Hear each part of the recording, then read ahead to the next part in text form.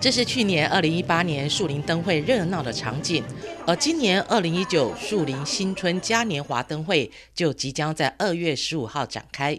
树林镇南宫里头及庙城都放置了来自社区、学校各方所制作的花灯，迎接即将到来的灯会嘉年华活动。尽力翕这灯啦，哦，像这这边遮哦，这拢是一寡咱学校啊个地方要发动出来啊来结作。啊，咱调定咱的奖金互伊，啊啊，尽量好，拢拢伫遐咧做啦。啊，我讲咱像那，即学校也好，人才很多。你即摆家己看起来，咱个感觉袂歹，真水。徐董事长表示，从二月十五号起展开为期七天，到二月二十一号的活动，也邀请民众一起来欢度元宵佳节。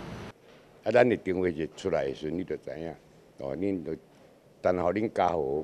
甲庄家来捧场遮久啊，遮侪年啊，啊头尾今年十六年啊，会使讲人山人海啦。一年一年一个外口的迄个路的顶啊，拢变，拢变，拢无共款去。哦，啊希望大家哦，会当踊跃来搞阮参观。届时活动也将会有绕境祈福、猜灯谜及精彩的节目等晚会安排，欢度京都庆元宵，也欢迎小朋友、大朋友来到顶来。中嘉新闻林凯君、卢秀娟、树林藏报道。